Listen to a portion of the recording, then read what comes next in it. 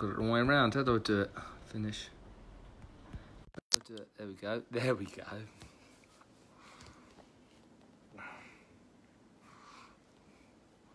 To be or not to be, that is the question. Well, the question, that's not the question. The question is, when do you listen to advice or when do you listen to others around you and negativity and take heed of it? Hello, Lee. Lee Webster and Lee Francis, two good names. And when do you? That's sorry, that's bollocks to that. I'm not listening to that. That's your. There are times when you really should listen to people. Hey Ray, what do we know? Aaron Johnson. So, guys, what do you do? I have listened to the wrong people way too many times, and as I'm getting a little bit much more mature, hello, Aaron Settlefield. How you doing? Good old Setterfields. Lee Francis, hello, bro. Now, I'm like, mm, I don't need to listen to those people because they're not helping me. They're really not helping me. Everybody think everybody's everybody's got an opinion. Yeah. And I do value other people's opinions. And listen, if I'm about to launch a brand in Mothercare, for instance, or as a um, hello Robin Deacon, if I'm going to watch a family brand and at the time I've got some bad PR, I'm going to listen to the experts and say, right, it's probably not the best time. You're going to waste your money. But there are times when you you sometimes just got to say, sod it. It's time to just go and get out there. And David Lapwell, hope you enjoy my boot camp today, mate.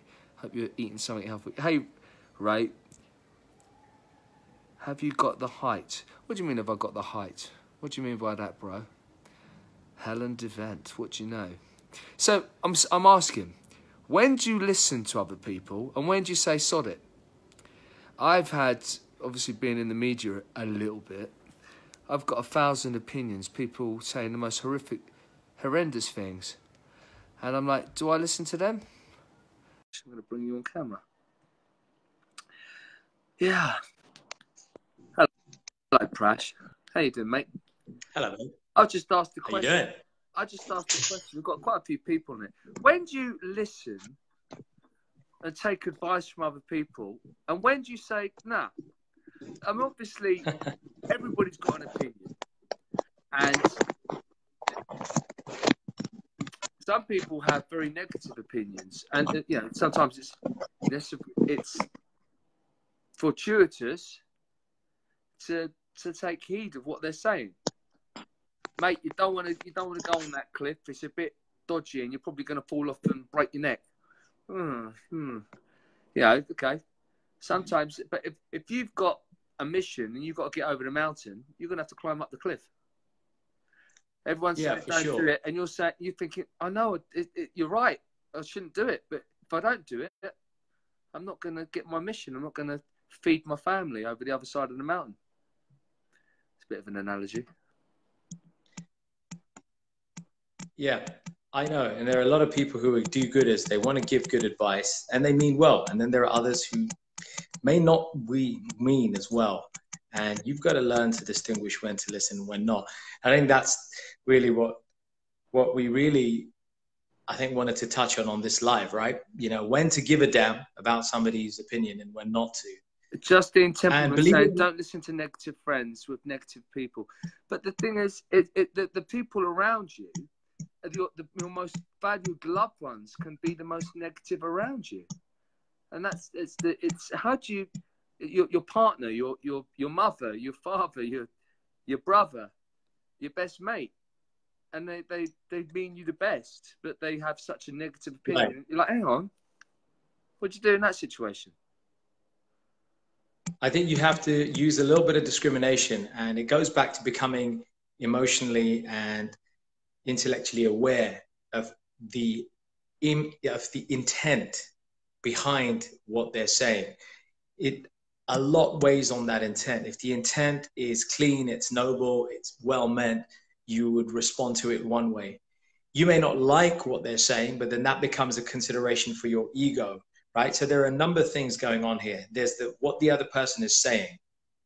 There's how you're how you're interpreting what they're saying, right? Which means your ego and your emotion, your ego and your mind interprets what's being said, and then how's there's how you respond to that. So there's a real um, sequence of things that are going on, and the better we understand that sequence of events, the better we are to decide whether to accept that feedback because it's good or to ignore it. Sometimes um, you value the opinion of somebody else, but you, you're you're so adamant. If you want to be successful, there's going to be a million. There's going to be half the people are going to say that's not how to do it. That's not how you're going to be successful. And then there's yeah, totally. say, just throw caution to the wind and say, sod it, I'm going to go and do it. And they prove the world wrong. Yeah. Um, the, the Christopher Columbuses, it's not the, the best example, but it is an no, example. but um... it's an example. Um, like doctors, I don't often listen to doc. I do listen to doctors, but I don't always take their advice. I mean, uh, look at the Bruce Lee yeah. story. He broke his back. He's never going to walk again. There's so many stories like this. And he said, "Sod that! I'm going to walk again." And he that stubbornness. Right. He didn't listen. He listened, but he didn't listen. Yeah, he listened, but he didn't listen. And I think that's a perfect example. Sometimes you've got to decide when to do that. I mean, take the story of Jeff Bezos. Everybody really? said to him, uh, the guy, Jeff Bezos, the founder of Amazon. Just think about this. We wouldn't have, we as a, we as a nation, we as a planet wouldn't have the, the benefit, the convenience of Amazon had Jeff Bezos, the founder of Amazon, listened to his boss. So get the story. He was working as a financial guy in New York. He had a really good job. He was paying well. And he had this idea way back then that he wanted to create something this whole online book selling warehouse. Now, check this the story went like something like this. He had a chat with his wife. His wife was like, I'm down. He then spoke to his boss. He told his boss, he listen, can we go for a coffee? Him and his boss went out for a coffee and he, he articulated this, you know, he, he articulated this vision of creating this online bookstore thing where they sell books and other stuff, right? Back in those days when he was, when Amazon was an idea in his head. Now, get this. He told him this whole thing, and his boss said, You know what? That's a really good idea, Jeff. But that's a really good idea for somebody who isn't already got a successful six figure salary business. And I think this is way too risky for you to do. Great idea. Give it to somebody else. You've got a really safe job here. You're making good money. Don't go for it. And this is what Jeff Bezos had to say about it. He said he, he, he had spoken to his wife before. His wife was like, you know what? I trust you. I'm with you. If you want to take a gamble and if it works, great. If it doesn't, I'm with you. I'm with you all the way. He then said that the reason why he decided to ignore his boss was because he had what he called the regret minimization protocol. That's like geek language, right? He's a tech guy. He said he fast forwarded his life to the point where he was on his deathbed and he said there would be a lot of things that he probably wouldn't regret. Like, you know, if he didn't make that much money and if he tried something and it didn't work, he wouldn't regret that. If he died broke, he probably wouldn't regret that. But he knew, he said, I knew that the one thing that I'd regret is not having tried out this Amazon thing and having a go at it and just ignoring it because I was safe over here because my boss and uh, loads of my friends were saying, now you're mad. Don't yeah. give up your six figure job to go and do this. And he ignored them he I've did got, it, and I've here we it. are. I want to just stay intact, and let's stay on the subject. Tesla, one of the most amazing men in the planet, he didn't go. He went against the grain with um, is Edison? Yeah. And he yeah. suffered. We're talking about Nikola Tesla, by the way, folks, not the guy who yeah. created the Tesla car. One of the most Elon Musk. Amazing, revolutionary people in the history of the world. We don't really know that much about what we do now. Now, he went against the grain and he he believed in what he was doing. He mm. wanted to do a really good job to erase humanity, and he, he suffered right. because of that. He he. So totally. there's going to be times where you do the right thing, and he, he died a poor man. Now listen, and I I'm all about it, what what is life all about? I mean, we all funnily most people. It's not funny. We're we're creatures of comfort. We we go for comfort. We want to make things easier. Not many people have the the are prepared to sacrifice their lives and to have discomfort right. for the greater good of man. So mm. I mean, I would like a bit of both. I would like some comfort, and I'd like to do the greater good of man, ideally. But it doesn't always work out like that. So what? How do you? How, what's what's the No, it doesn't. Uh, what what I'm trying to say is, ask in your humble opinion, doing the right thing. It might be the right thing, but you might always not benefit in this lifetime, which is sad. it worked out for Mr. Amazon, but as, is I'm not trying to be a negative naysayer, and I I mean you do die, I believe, with integrity and credibility, and there's nothing. Com- Listen, for someone who's had money and lost money, now um, I'm I'm building myself up again, and I feel fabulous for it. Yeah. And it's it's I, when I had the money, I had no integrity, no credibility, so I'm building myself back up. But what I'm trying to say is, I'm now doing what I believe is the right thing rather than the, a silly thing, and I feel great.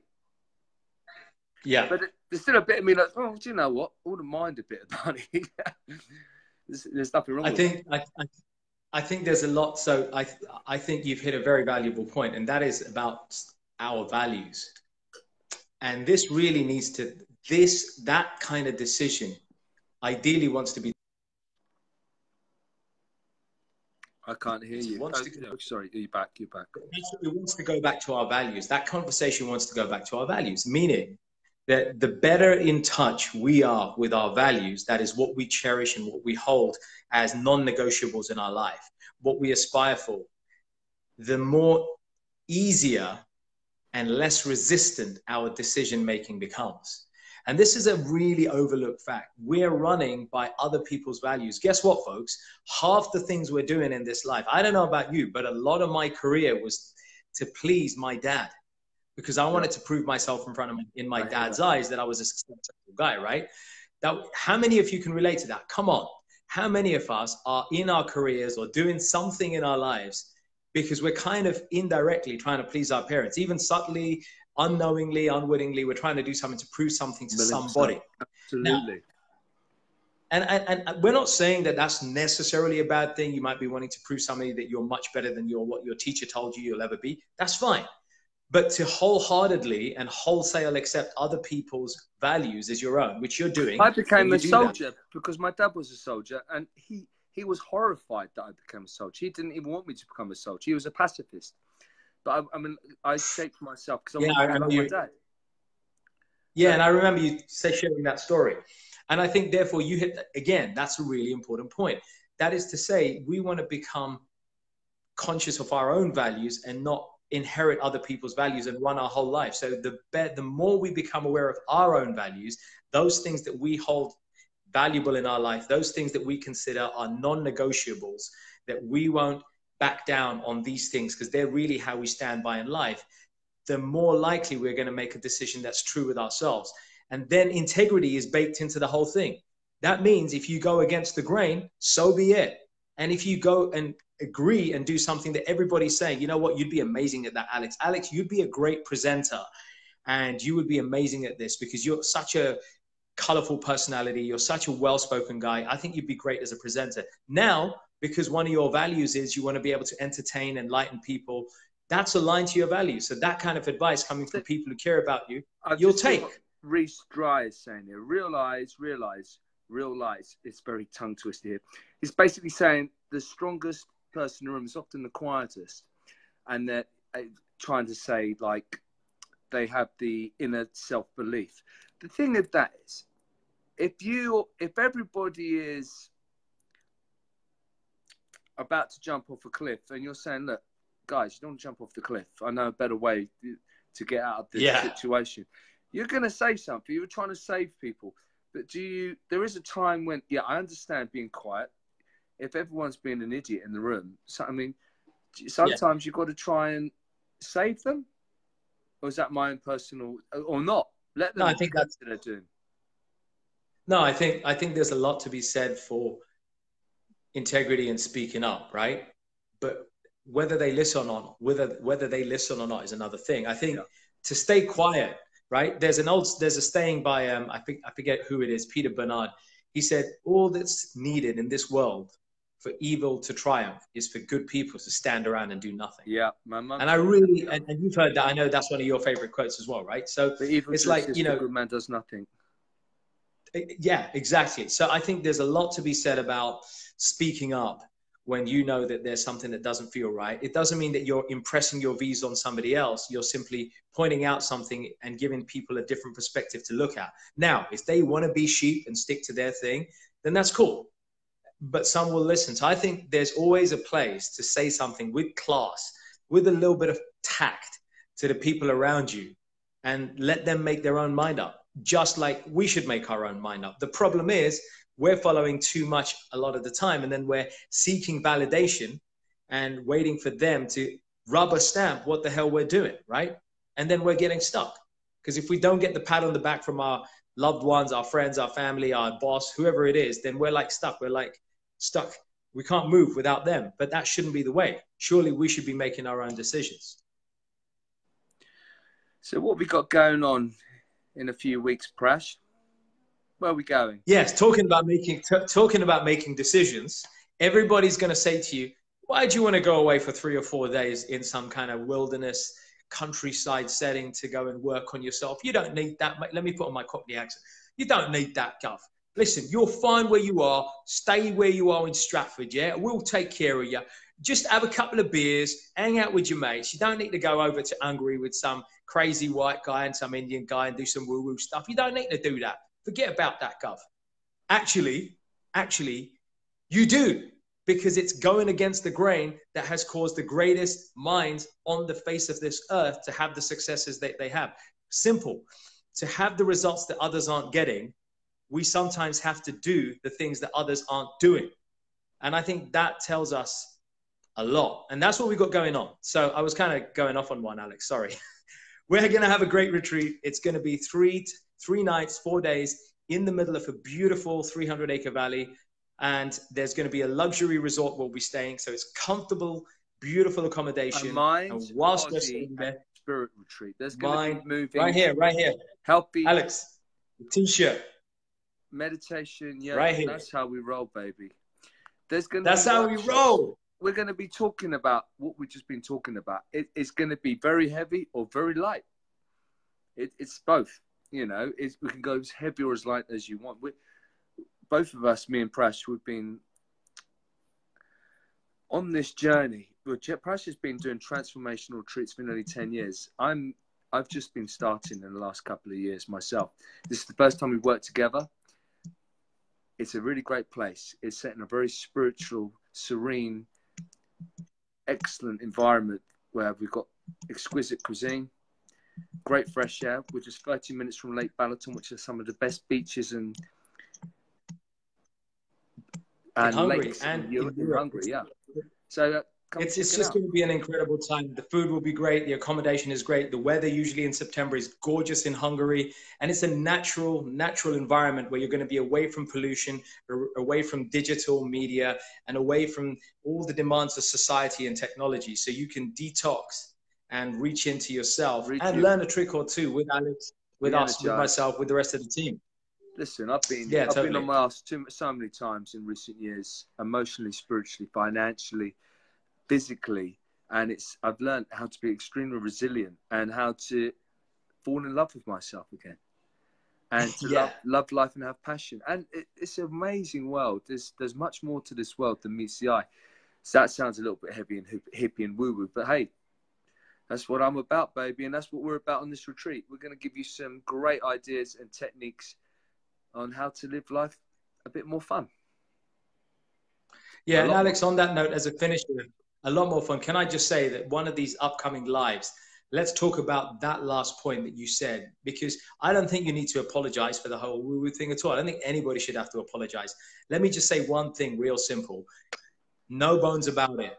Most human beings in their waking state are run 90% of their behavior is run by their subconscious mind. The stuff they can't even damn well see or even know. 90% of our behavior choices decisions are run by that subconscious mind. So if you think that not embracing all this so-called woo-woo and mind stuff is an option you're wrong this is the kind of stuff that will make the difference between you and so many people out there. It's the one that will separate you from being all, with all the sheep. It's the red pill. It's the pill that's going to help you to be and actualize the best side of yourself. So there's so much to say, and I think we should do a live on that, Alex, at some stage for sure. But for the meantime, we'll put the link here anyway, Alex. We'll get the link. Um, by the way, Alex, um, I was just going to say, great news for those of us who, for those of you guys who are watching this. If you still action now, we will honor. And Alex, I hope you don't mind, but I was proposing we actually honor the early bird price a little longer for those people who really want to come because we yeah. want the right kind of people to come. Robbie, my man, um, Danny, there's some of you guys who are already on us. It's going to be a pleasure. Justine, if you can join us, it'll be great. Big shout out to my man, Gene Thu, joining us from LA. Big shout, my man. So there's some really good people here. If you guys want to join us, we will honor that early bird price and keep it extended. Alex, got any objections? Let's make it happen, man. All right, twist my arm. Garnet. You've done it. Yeah, no, it's good. I'm good with that. I'm good with that. Let's get the people on All the call. let's do this. Guys, if you're interested, please give us a message. Speak to you soon, guys. Adios, amigos. Alex, take care. We'll catch up. We'll do another one.